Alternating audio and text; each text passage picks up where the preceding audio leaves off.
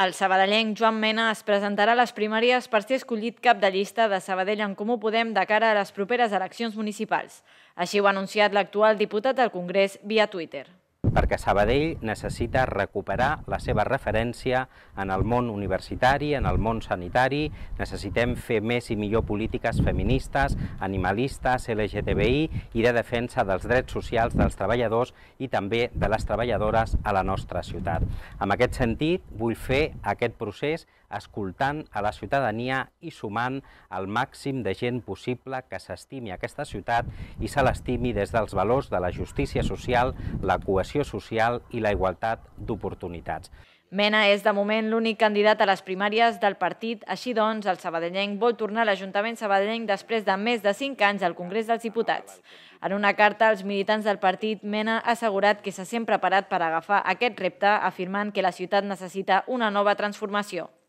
El sabadellenc ha explicat que apostarà per diferents projectes de la ciutat, com per exemple la pacificació de la Gran Via o també la transformació del riu Ripoll en un gran polmó verd per la ciutat.